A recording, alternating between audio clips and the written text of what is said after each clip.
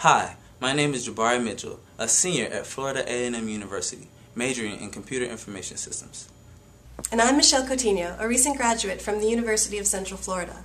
Jabari and I would like to welcome you to the Minority Innovation Challenges Institute. MICI provides a year-round virtual training ground to prepare students to compete in NASA technical challenges. Today we have joining with us several NASA and aerospace leaders to discuss why this program is important to students like you. Joining us are Miguel Rodriguez, Deputy Director for Management within Kennedy Space Center's Engineering Directorate. Gina O'Shaughnessy, NASA's System Engineer with Launch Service Program. Sasha Sims, Analysis Integration Lead for NASA's Constellation Project Office. Winston Scott, astronaut and mission specialist on shuttle flights STS-72 and STS-87, and currently Dean of the College of Aeronautics at FIT. Peter Homer, winner of $450,000 in two NASA Astronaut Glove Challenges. Hortense Burt, Acting Chief of Education at NASA's Kennedy Space Center. And Andrew Petro, Manager of NASA's Centennial Challenges Program. Let's get started with our first question. There's significant prize money in NASA Centennial Challenges. Why is NASA seeking students to compete in these challenges? Okay, the Centennial Challenges program does invite the participation of teams from private industry, small businesses, independent teams, and universities. We want to have the widest possible participation because we think that's where the ideas, the best ideas will come from. And uh, we think students can offer a lot in that way. And it also is a good way for them to begin their careers in uh, helping us push back the frontiers of air and space. It allows students to participate in the missions that NASA has. And then, you know, when you're day to day working the technical issues as a NASA employee or NASA engineer scientist, you may be limited to what you think can be done because you're constrained by what you already know. And as students in challenges, they're not constrained by anything. They have these ideas that you know, may sound far fetched, but as you get to working them out, you think, this is a good idea, this is going to work. Why is NASA specifically seeking a diversity of students, and in particular, minority students, to participate in their technical competitions? It is very important to get different backgrounds, uh, different people with different experiences as well as technical expertise because they will bring different notions into the table. It helps think outside the box and come up with new concepts. So it's very important to have a diversity in a team. Well, no matter what you're doing, um, whether it's NASA, whether it's competitions, anything in life, the more diversity you have at the table, the better off you're going to be just the difference that different people will bring. And, you know, we're talking diversity and ethnicity, diversity and where people are from, and your gender, their age, all of that brings different flavor to the table. Do you think students can really compete at the level required for them to win these high stake NASA competitions? Um, a lot of people don't realize that I also participated as a team in another Centennial Challenge called uh, Regolith Excavation, and that's basically the moon diggers, the robots that dig surface of the moon. And um, we didn't win anything in that competition, but there were 22 teams registered, and the team that did win that was led by an undergraduate student from Worcester Polytechnic Institute. So um, definitely, these are um, competitions that can and are won by undergraduate students, so it, definitely go for it. Hmm, that's good to know. My next question is what do you think students have to gain by participating in NASA's technical competitions? Well, there's a lot of things they gain. Number one is when you get involved in this kind of competition, first of all, you build a network you get to know other uh, students, uh, professors, professionals in the business that allows you to learn more.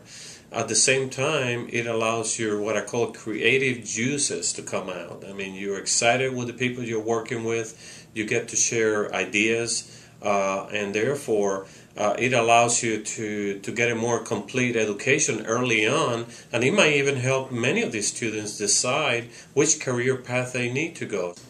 Well, most importantly, it will be fun. It's a fun opportunity for students. You get to work with a group of other students that may be or may not be interested in some of the similar things that you are. And I think it would give them an opportunity to do something different, learn how we do business at NASA, learn some of the complexities that, that we learn that we go through here at NASA, and also learn about the challenges that, that we go through and most likely bring things to the table that we can use as we develop our technologies. Now, besides from the large cash prizes, students gain so many ways. First of all, it's fun and it's exciting, and uh, they get to meet other students, so that's a fun thing.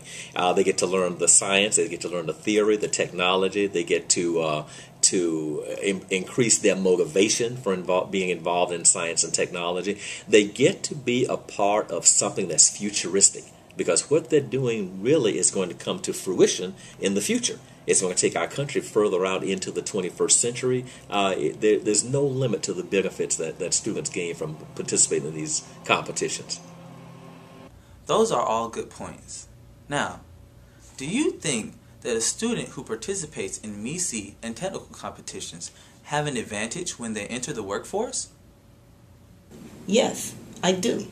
And again, it's because of their experience with being a part of something where they were given a challenge and they had to create, develop, and work with a team of folk.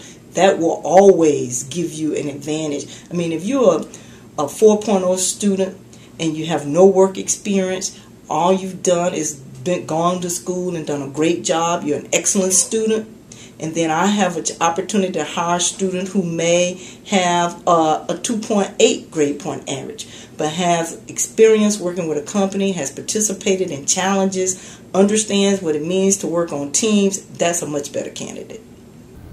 Uh, one of the things that the working on the Centennial Challenges um, uh, competition will do is, is um, give students the opportunity to get their hands on real hardware uh, solve real world problems and that experience uh, employers in the future will find extremely valuable. Um, in normal university studies you don't get to do it to do that kind of work to this degree and uh, so this kind of experience uh, is extremely valuable uh, to the individual and to their future employer.